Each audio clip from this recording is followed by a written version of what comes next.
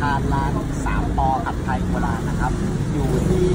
ถนนสันติภาพนะครับ ลงมานั่ง MRT วัดมังกรนะครับแล้วก็เดินมาทานใกล้ๆร้านหอยทอดในหมกนะครับเมนูนะครับอันนี้เมนูผัดกะเพราเจนะครับ แล้วก็เมนู signature ของเขานะครับ เป็นผัดไทยหมูนะครับ ใส่เต้าหู้พอดีมีเขาเป็นผัดไทย สดแบบกุ้งหมดครับต้นเหมาไปกุ้งตัวใหญ่ๆทั้งนั้นเลยครับน่าทานมากเลยครับ เดี๋ยวเราลองมาทานกันดูนะครับรสชาติเป็นยังไงดูเข้มข้นนะครับจุยซี่มากเลยนะครับ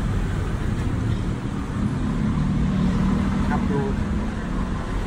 เข้มข้นนะครับ ดูความเหนียวของเส้นนะครับลองทานดู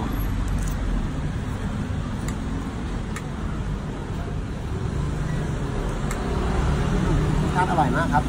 เส้นเหนียวนุ่ม แล้วก็มีความหอมของกระทะ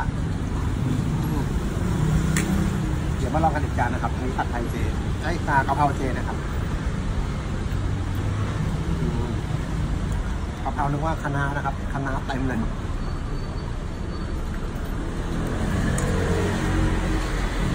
อืมหอมคะน้าครับผ่านทั้งสองเมนูครับว่างๆเชิญมาทานกันได้นะครับ ร้านสามปอ